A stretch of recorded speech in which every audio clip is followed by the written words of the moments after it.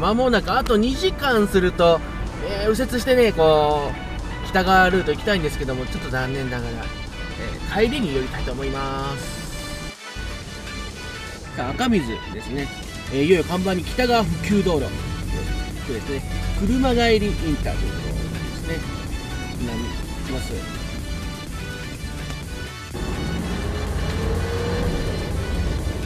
さああの8月の8日にはですねこの目の前の宝湯本線もですね、えー、全線開通しました、えー、ここですから踏切が復活しましてこれ踏まなきゃいけないですねここは1号踏切ああこれやっぱ多いですねこの熊本。から大きに向かうご注意ください。目の前に見えてきましたのが、えーですね、こちら車帰りインターここでねねこう目の前こう左側になると豊後街道の交通の難所。ね二重の峠です。これが令和の時代になっていよいよですね新しい普及ルートが来ております。いやこれね本当今すぐ乗ったらねかなり楽なんですけどね、えー、あと1時間45分。ねお楽しみに。右手側がですね大津インターなんですね。こちらもと1時間20分ですね。再開いたします。このね2人の峠の、山越えをしなくても行ける平面に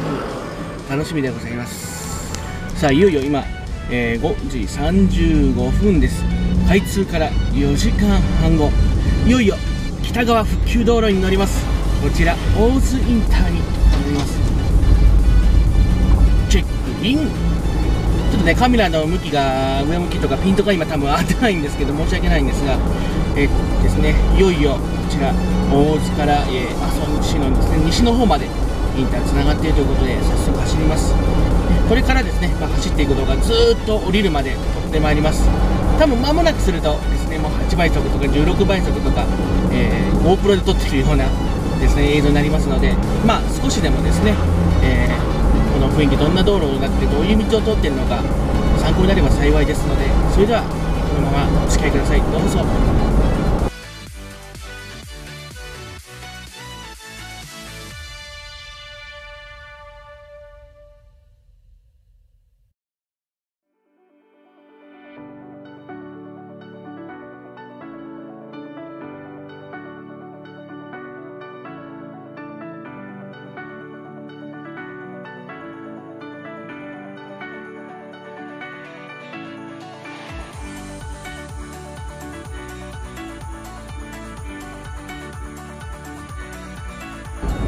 の駅阿蘇ら辺に行ってるんですね。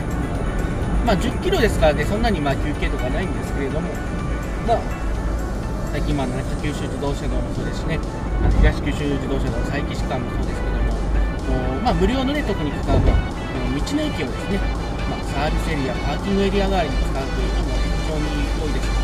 道の駅としてもこのまあ税金の関係の大きい金額ですね増えて非常に効果ではないかと思います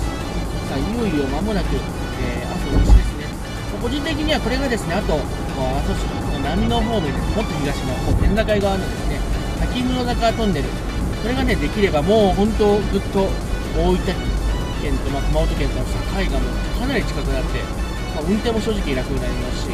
あの峠道はどうしても上り下りがあってですね運転も難しいですし疲れますしそのね燃費も違いますから非常にねこうやって交通のインフラ、まあ、先週の大分学でインフインの桑野泉さんがですねおっしゃってましたけども交通アクセスがあるとやはりこうですね観光客が増える、まあ、これもねということで、まあ、当たり前のことかもしれませんが大事ですしそして何よりもこう医療体制とか災害時に何かあった時緊急車両通行またはこので一歩の道が崩れても、まあね、この新しい道があればまたなんとかインフラ確保できるという、まあ、安全性。そしてこのあと物流ですよね、えー、物を運ぶというのが大事です。産業の中ではですね、えー、この物流のおかげで私たちの生活もできておりますので物流が活発になっていろんな商品が行き来ができこれがねまた面白くないと思います。さあ間もなくですね、えー、インター降ります。インター降りるところまではです。皆様にご紹介したいと思いますので最後これが国道57号線沿いですね。ここら辺ですね。道の駅阿蘇がまあ、まあ、それでも8.2あるんですねということでいよいよ阿蘇市からですね言動ですね国道57号地図ということで意外と大分少ない見てください大分ということで、えー、最後までご視聴いただきありがとうございました、えー、よろしければチャンネル登録よろしくお願いいたしますそしてぜひね、あの、まあ、新型コロナウイルスとか交通安全気をつけながら、ぜひ、あの、大分、熊本、ね、中九州仲良くして交流していきましょう。皆様もぜひよろしくお願いいたします。それでは、また、ガマ出せ、熊本、大分、白真剣